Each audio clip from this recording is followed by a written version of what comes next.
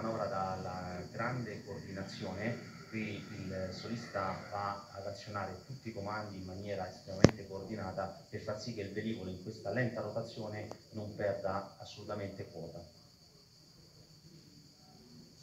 Formazione intanto rientra, ormai già trasformata a cigno, e questa la ritengo una delle manovre più eleganti della pattuglia acrobatica nazionale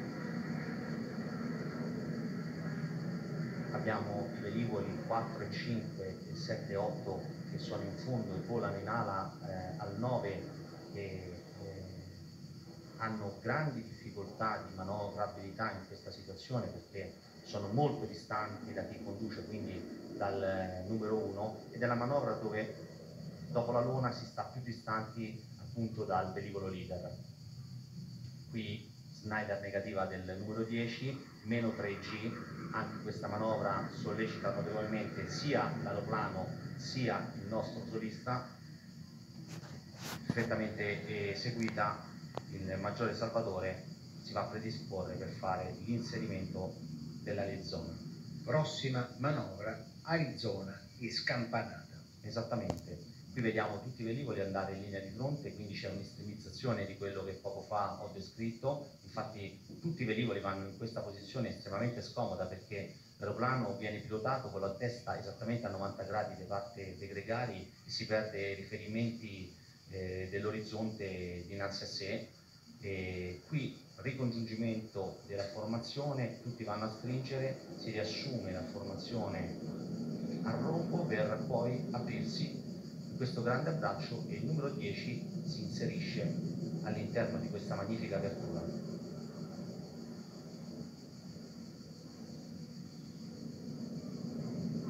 Invece adesso ci delizierà con una scampanata, lascerà che il suo velivolo perda energia fino a fermarsi e arrestarsi nel cielo, ricadendo esattamente all'interno dei propri figli.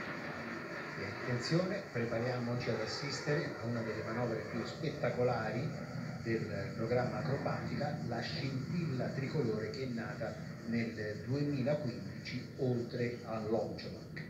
Sì, io ho avuto la fortuna, nel 2015 era l'anno del mio esordio, eh, di partecipare a tutta la realizzazione della manovra, vedere come viene studiata una manovra eh, nuova, come si eh, analizzano le criticità, vanno studiate, analizzate prima di, permettere a tutta la formazione di poterla eseguire. Quindi si inizia con uno studio basato su due soli aeroplani che provano la manovra inizialmente e man mano che si vede eh, la manovra eh, diventare sempre più sicura, avere più consapevolezza di questa manovra, si iniziano ad aggiungere lentamente gli altri elementi della formazione. Intanto il 10 è appena scampanato portando il suo velivolo a velocità zero libera adesso il campo al rientro della pattuglia per la scintilla che andremo ad ammirare in tutta la sua bellezza ed esplosività. Ecco, tra l'altro la pattuglia acrobatica nazionale italiana è l'unica a eseguire la scintilla. Esattamente, una cosa che non tutti conoscono della scintilla è che in realtà la parte più complessa di questa manovra è il ricongiungimento infatti c'è una separazione totale di tutti gli elementi, abbiamo nove elementi che si disperdono eh, nello spazio aereo e dovranno poi ricongiungere. Il problema è che per ricongiungere, una volta aperta la scintilla, i gregari di destra si trovano a sinistra, i gregari di sinistra si trovano a destra.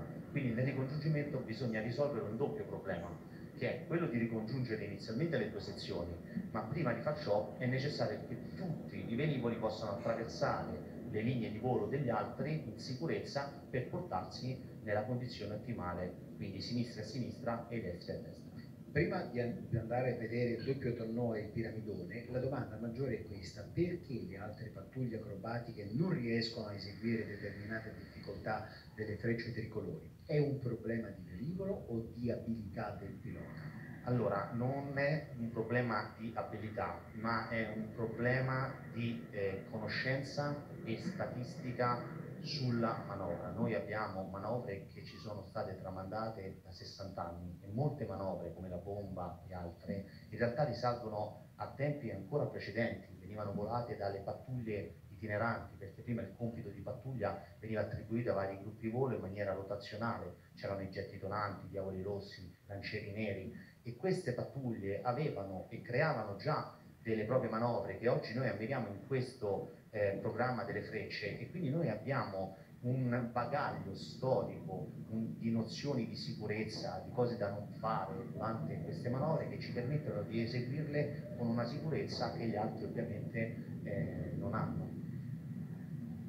Tra l'altro ricordiamo che tutti i ricongiungimenti della pattuglia sono a vista pubblica.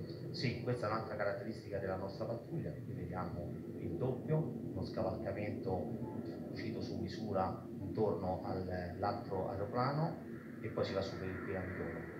Tutti i ricongiungimenti sono a vista proprio perché la pattuglia è in grado di eh, ricongiungere senza commettere errori. Normalmente le altre pattuglie invece la fase di ricongiungimento che viene ovviamente percepita come una, come una fase critica cercano di effettuarla lontano dalla vista del pubblico perché le sbavature ovviamente possono accadere eh, con facilità.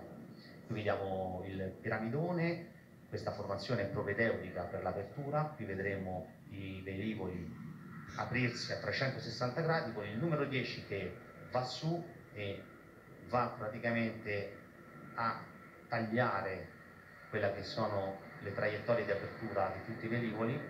Quindi se la interrompo e mi ripeto anche, ma anche questa apertura è unica nel suo genere anche questa manovra non è ripetuta da nessun'altra pattuglia. Esattamente, la bomba è una manovra che eh, se la si vuole ammirare bisogna guardare per forza il programma delle frecce di colori, non è ammirabile da nessun'altra, diciamo guardando nessun'altra pattuglia. Quindi qui abbiamo la classica inversione della bomba che porta adesso tutti i velivoli a convergere in un unico punto e la separazione è garantita soltanto da tre livelli di quota e qui i piloti devono gestire sia le tempistiche di incrocio sia la separazione verticale minima con gli altri velivoli. Ed è una cosa che io ogni volta che la guardo ancora oggi mi emoziona da morire. Come la, se fosse la prima volta per me veramente è una cosa che ha veramente del, del prodigioso un incrocio bellissimo e anche questo ricongiungimento dove i velivoli che erano fino a un attimo fa velivoli singoli si ricongiungono rapidamente in sezione e con due semi looping riescono a ricongiungere. Una magia che solo le frecce di colori sono in grado di regalarci. E questo precede lo Schneider a destra e il cosiddetto volo folle.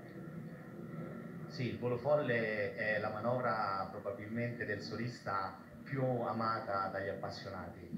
Eh, io ho avuto la fortuna di essere passeggero alcune volte durante gli addestramenti a rivolto e devo dire che è una manovra che a me anche ha spaventato il passeggero perché l'aeroplano vibra in un modo incredibile e il solista devo dire che con la sua bravura riesce sempre a effettuare una manovra che emoziona tutti.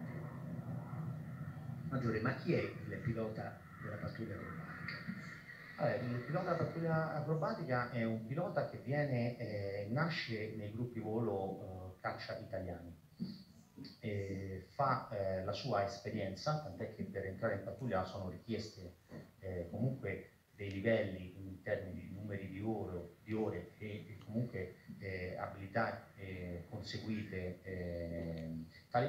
poi si può fare richiesta di partecipare appunto al concorso interno per diventare pilota delle frecce di colori. Questo è l'aspetto burocratico, invece l'aspetto proprio anche interno. L'aspetto interno diciamo che si cerca un pilota innanzitutto bravo e portato per il volo eh, in formazione, perché diciamo la, l'attività principale che si andrà a svolgere è quella. In più si cerca un pilota che sia in grado di eh, entrare a far parte della formazione, di collaborare con gli altri, quindi si cerca sicuramente una, persona, una personalità volta alla eh, collaborazione, volta al sostegno, al supporto. Eh, di certo non vanno bene caratteri eh, diciamo, forti dove magari eh, diciamo, il volo folle del nostro solista. Come vedete qui l'aeroplano addirittura smette in alcuni momenti di emettere fumo proprio perché le sollecitazioni sono tali da mandare anche un attimo il sistema fumi in eh, avaria. È incredibile vederlo, qui va su con il minimo dell'energia disponibile, la sensazione stando dentro è quello di essere aggrappati all'aria, eh, sembra di arrampicarsi quasi nell'aria, una sensazione molto molto bella. Diceva Maggiore, e siamo quasi nella parte finale, che non occorre forte. Sì, non occorre avere un carattere forte perché un carattere forte potrebbe facilmente portarsi allo scontro con un altro carattere e quindi quello che si vuole in realtà qui è trovare delle persone che al verificarsi di un problema si siedano e cercano insieme agli altri di capire da dove scaturisce il problema e come risolverlo nel miglior modo possibile. Devo dire che questa è una caratteristica che hanno la gran parte dei piloti dell'aeronautica militare, tutti direi, ovviamente c'è chi è più spiccato per un lavoro di squadra rispetto ad altri. Ci stiamo preparando Maggiore per la lona e l'inserimento del solista.